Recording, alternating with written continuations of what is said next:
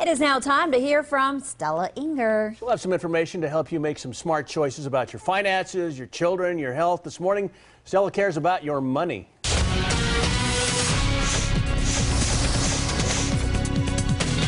Good morning. With the stock market hitting yet another record high, experts say you may want to think about putting more of your 401k accounts into stocks. For younger employees, nearly three quarters of workers have their entire 401k in just a single mutual fund. But financial advisors at Fidelity say you should move more money into stocks.